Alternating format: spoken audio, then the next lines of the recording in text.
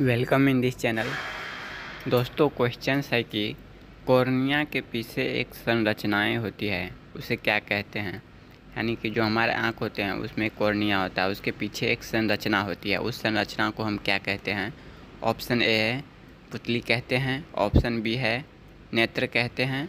Option C है, retina कहते हैं। और ऑप्शन डी है, परितारिका कहते हैं। तो इसका सही आंसर क्या हो जाएगा? डी, यानी कि परितारिका कहते हैं, यानी कि कॉर्निया के पीछे एक संरचना होती है, उसे हम क्या कहते हैं? तो परितारिका कहते हैं।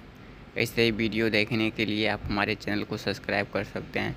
इस चैनल पे क्लास टेंथ से रिलेटेड हर एक एक्सरसाइज का, सभी बुक्स का ऑब्जेक्टिव क्वेश्चंस अवेलेबल करा दिया जाएगा।